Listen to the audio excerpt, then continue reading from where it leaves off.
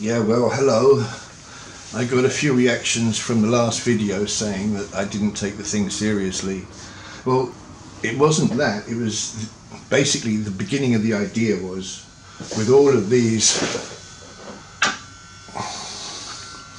that I made before, the principle was that I wanted it to go over the ear like glasses because yeah I was looking for a solution for a problem that wasn't there.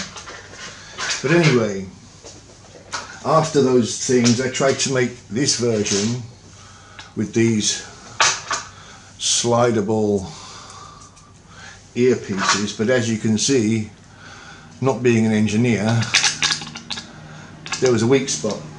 So then I went same principle but then I tried to make the thing here. It has to go underneath. That was a difficult bit see?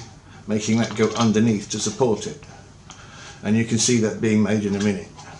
But yeah same thing. And finally ending up with this one where the holes are much too big. But again it's you can oh you can see it goes that's the idea. I'm going to carry on working on it and eventually I'll get it and I'll try some new materials. But okay.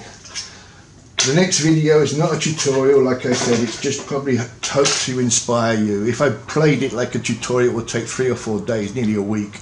So just think of it as being inspiration and enjoy the music